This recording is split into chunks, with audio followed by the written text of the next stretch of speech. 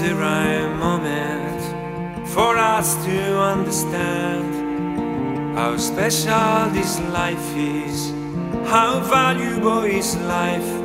But brother, what do you mean by life? If poverty still with riches, does life disappear when you don't want to understand anymore?